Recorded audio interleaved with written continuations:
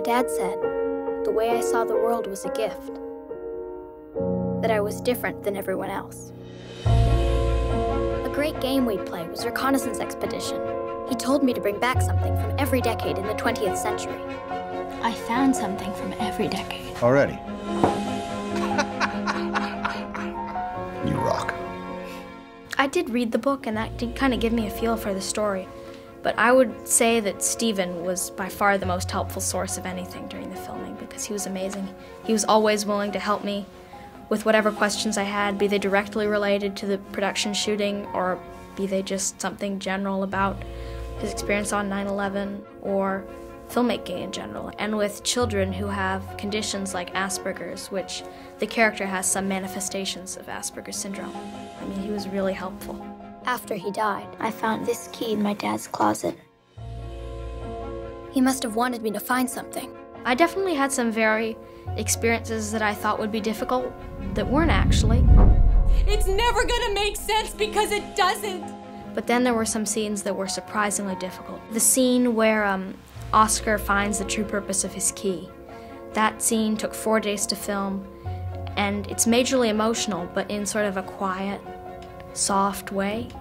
And that was very, very difficult for me to handle. But after four days, I think I got, I did an okay job with it. Was there really a sixth borough? Well, as with anything, if you want to believe, you can find reasons to. What reasons? The clues, of course. What clues? What clues? The clues! The peculiar fossil record of Central Park, the, the incongruous pH balance of that reservoir. They're all amazing actors and amazingly kind people, and I was grateful to work with all of them, especially so because, you know, I'm a first time actor. Since when does a first time actor work with an amazing director and amazing actors? One special thing that I learned was that you have to stay in your character the whole time during a filming session.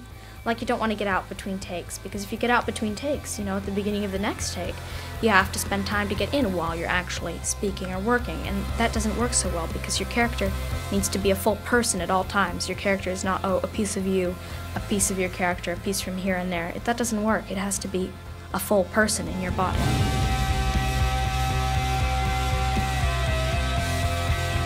Maybe everybody's looking for something.